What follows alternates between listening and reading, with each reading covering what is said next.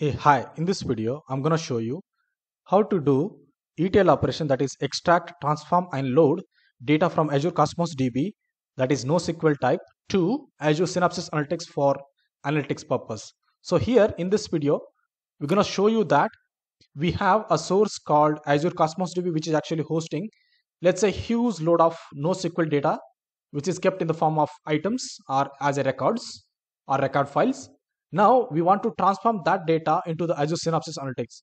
Why? Because Azure Synapse Analytics is a data warehouse service where we will get the you know the uh, the analytics capability as well, and you can also integrate this data warehouse service with the you know the other um, you know the business intelligence tools like uh, Power BI or you know AWS uh, QuickSight. You can integrate this you know this Azure Synapse Analytics you know to get the more insight, right? So here main aim is how to migrate the data that is present in the Azure Cosmos DB with using the native capability of Azure Synapse Analytics, right? So for that case, what we do is we're going to use the native capability called integrate. So integrate helps us to build the you know the link between the Azure Cosmos DB with using Synapse linked services, which actually nothing but a connection between the you know basically a connection from Azure Synapse, Synapse Analytics Workspace to Azure Cosmos DB, which actually authenticates the Azure Cosmos DB to extract the data, right? And then in the destination side we also need to create another uh, you know the linked service basically which will actually authenticate a dedicated SQL pool that we create on Azure Synapse Analytics. Okay, so in total, so here we have a source that is Azure Cosmos DB, and then we here we have a you know the destination that is Azure Synapse Analytics.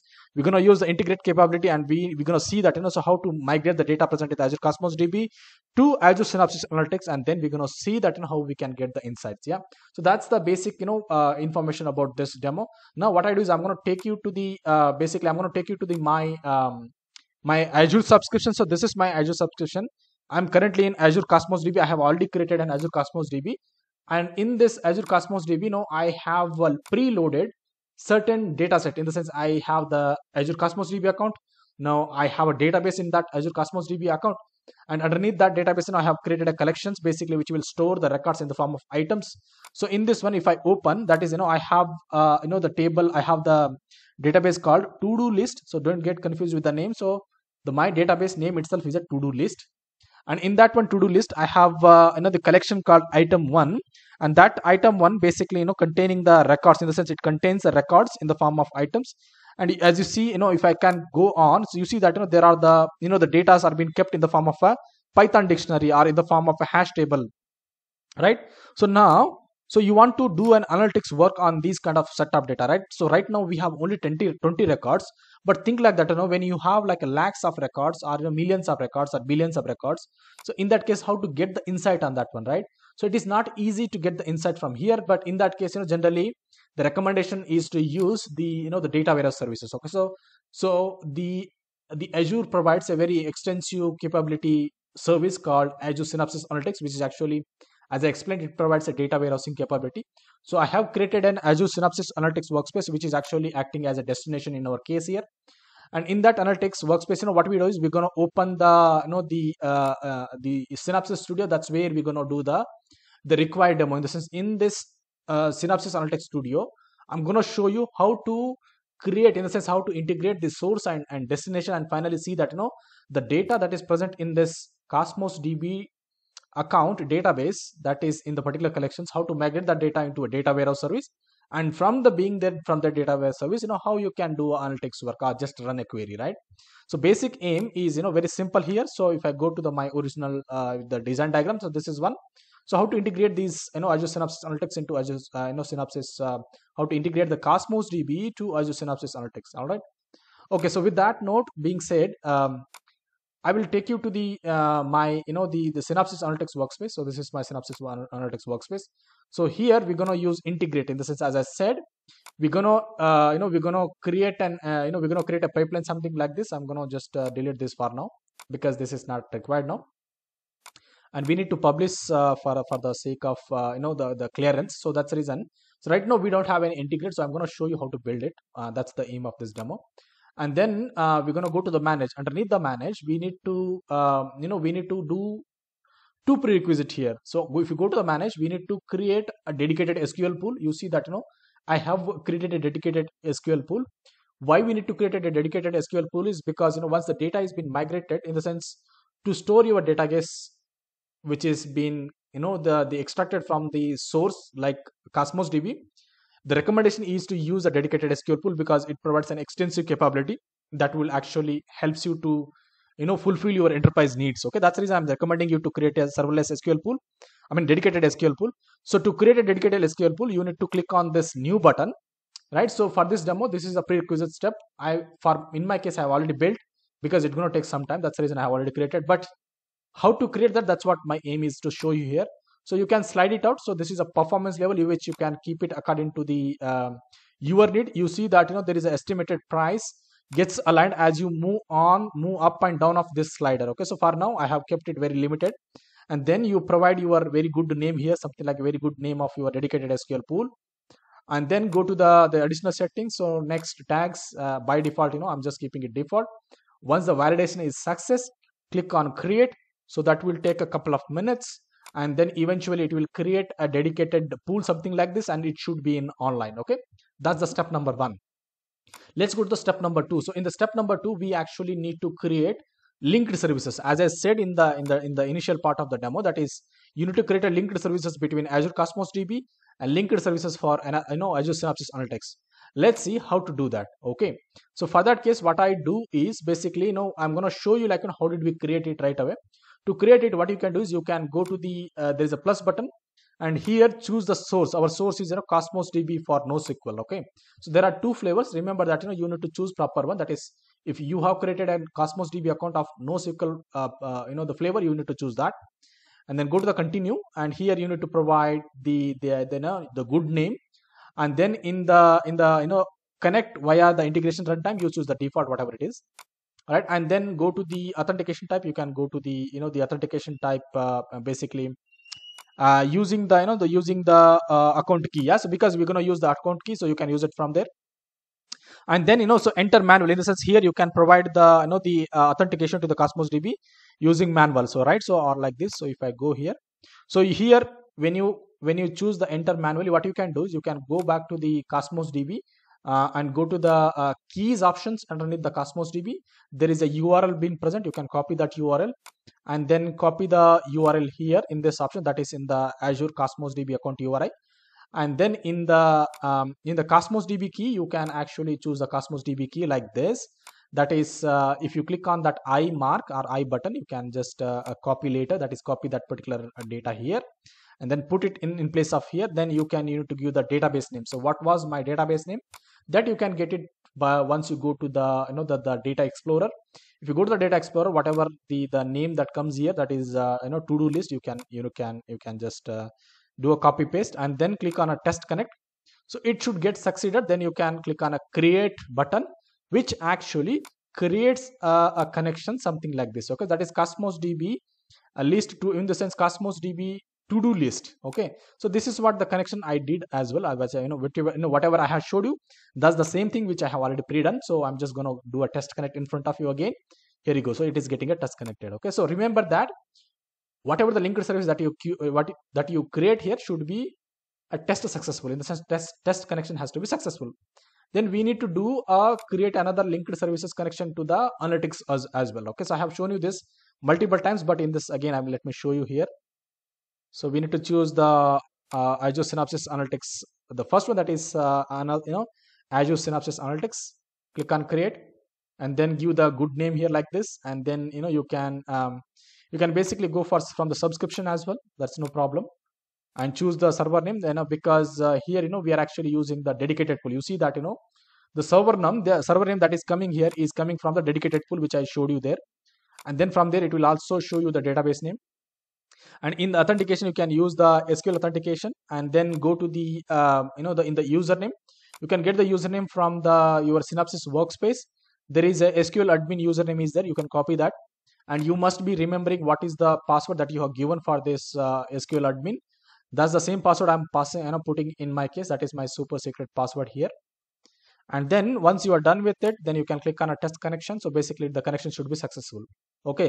So likewise i have also created the the azure synapses analytics service connection. That is linked service connections has been created. Both are working. The other one that you see the these are all the default ones so we are not going to touch it and that is not belongs to me. All right. So these are the two prerequisites that we have done in the manage right? Now let's go to the uh, the the now let's go to the the third step right? So we did a two step in the manage. Now we need to do um, so two step in the sense we created a sql pool. We created the linked services right? So in total two steps. Now we are going to the step number three that is integrate. So integrate is you know basically as i said it is a feature underneath the synapses analytics which will help you to do the job. That is copy the data from the source that is azure cosmos db account into the synapses analytics okay? That's what i want to show you here. So we create a integrate integration in the sense we're going to create the integration between the azure cosmos db to synapses analytics by clicking on this one so click on this and then uh, there are the lots of options here so we're going to use the copy data tool which is actually comes with a default template which will help you or which will actually ease us the job here so we're going to use the built-in copy command here and then i'm going to go go to the uh, uh, click next so here, what is our source? Our source is you know Azure Cosmos DB NoSQL. That's the reason I'm choosing that. And in the connection, it will give you the the the linked service connection that is we have already shown. And here you go right. It has authenticated and it has able to you know the the the it, it is able to protrude in the sense it is able to show the the containers or show the tables present underneath that cosmos db right? Generally we cannot call them as a you know the uh, the the tables here. So basically we have a database and you have a container you can call it. Within the containers you are actually putting the lots of records. All right? And then within this you know i i don't have data in the items uh, collections i have a data within the you know the, the this collection that is uh, container. I mean, let me call it as a collection or container. Both are same. It is nothing but you know a kind of a logical workspace underneath the database in uh, in azure cosmos db account okay? So this is the collection you can call it. Right? So that's what i'm using the two words don't get confused it is nothing but a table uh, you know a space underneath the database okay? So remember for your information yeah?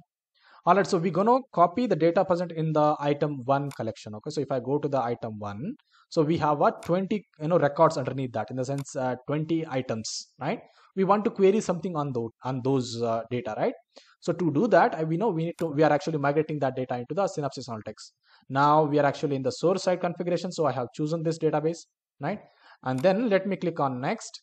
And then here you can do a preview data. So basically it should uh, preview the data which means that you know it has successfully did the job in the sense you see that you know how this data is getting you know uh, uh, you know being pulled from there right? So it is possible because uh, you know um, if i can show you. So there are lots of basically it is just pulling the 10 records as of now but there are 20 records in this uh, collection basically. Yeah. Um yeah which means that also if you are able to preview the data which means that uh, which is a good sign you can go next then. Right? I will click on next. So here we need to configure the destination store. So here the, our destination store is synapses analytics. So if i go to the synapses analytics so we need to use this synapses analytics dedicated uh, uh, i know the pools are, just use synapses analytics. And then click on a synapses analytics this one. Uh, and then you know so you see that you know there is automatically there is an option getting created that is uh, item one. This is a source that is item one is a collection which contains the records which needs to be copied into a table underneath the underneath the you know the destination that is as a synapses analytics and the table will be auto created so here for your information i have not creating any table. It should get created automatically okay? All right so next go to the next option. So it says that you know there is a some error in the in the in the basically in the uh, error to fix it okay? So i'm just go back to then. So i will say skip the schema for all tables. So and then you know it, it got the, the error got. In the sense uh, in the uh, in the data set we need to choose skip schema mapping for all table okay? I'm just to keep it default and then we're going to go to the next. And here we need to give our pipeline name. I will give my pipeline name as uh, cloud uh, uh, quick uh, labs demo yeah so let's give me right names clear quick labs demo. So this is my pipeline name that is a task name. And then we go to the uh, staging. So we should have a staging or else it will not work. I'm keeping the default options in the description. I'm not doing anything. Data consistency i'm not doing anything fault tolerance logging i'm not doing anything enable it is already checked so i'm just keeping it default. In the staging uncode linked services you know we should choose it because that is how the copy will work in the in the you know synapses analytics so i'm just choosing that. Uh, in the storage path you don't need to do anything and rest all configuration you just keep it default yeah? All right but at the enterprise grade when you are doing it for production i will just recommend you to use it wherever it is demanding all right. Next go to the uh, uh, review and finish path and you see that you know the mapping has happened now. So we have the azure cosmos db for nosql which contains a huge load of data which i wanted to migrate to synapses analytics that is a data warehouse solution. And here it is using a staging environment that is uh, azure data lake storage gen 1 yeah? All right so with that note i will just click on next. Everything looks to be perfect and then see that you know whether it is able to do this job you said. When we have defined a pipeline it actually deploy there is a deployment steps will be carried out. In the sense you see that you know validating the copy the environment it did it got passed it created a data set it created a pipeline it is running the pipeline that is succeeded. I will just say finish it yeah? And if you go to the uh, this pipeline and and, uh, and go to the monitors now now we have created a pipeline we can directly jump to the monitor and you can see that you know the pipeline should be running here you go. So this is our pipeline that is uh, cloudquick labs demo pipeline which we created just now.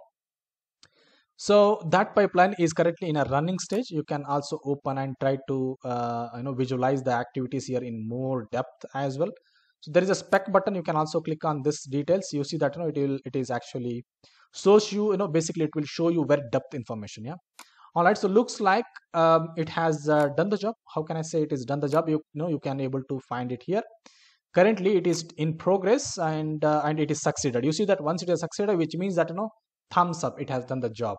Let's go to the so basically now you know we have copied the data present in the azure cosmos db to azure synapses analytics where the tables are being created dynamically because that's what we have defined. Now let's go and check the whether you know that has happened or not yeah? To do that we need to click on a data. So data is a feature within the azure synapses analytics which actually host the data that is that is being copied or that is being created dynamically right? So this is our sql database because i created an sql dedicated pool. Uh, underneath that we have a database called this is dedicated sql pool is a my database name. And underneath that we have uh, uh, a tables. If i refresh the table we should see a dynamically a table is being created. You see that? We have a dbo.items.1 table is been created and it has diagnosed the the column name as per the syntax okay? If i go to the uh, uh, to the uh, to the cosmos db account we have 20 records following the same schema okay? If schema changes maybe you will have the problem because i have not tested. That's the reason i cannot commit on that. But this demo definitely works for the records containing the same same schema. When i say same schema in the sense a dictionary a record with the you know basically this is a re dictionary record with the key value pair you know data right? So you see that key and value. So all these key value are same for all the 20 records. And that is what it has based on that it has created the columns. Now we are good. Now let's see whether i can try to query the data right? So if i can query this data by using select top 100 rows yeah? Once i run this data you see that you know currently it is querying. Here you go right? So we got the data which means that you know the NoSQL data which was present in the Azure Cosmos DB uh, account right? Now we have converted into a SQL format which is nothing but again a column format you know column and I know the row format which is basically structured data right? All right so hereafter you know so once you have a data which is stored in a structured format from here you can get a lots of insight by running a lots of queries against it. Or you can also integrate this table with the you know the the uh, business intelligence tools like power bi and get the required insights yeah? All right so with that note i have uh, successfully shown you the uh, things need to be shown in this video finally i can't request please to subscribe my channel. That would really encourage me a lot. So with that note thank you. Thanks a lot and see you in the next video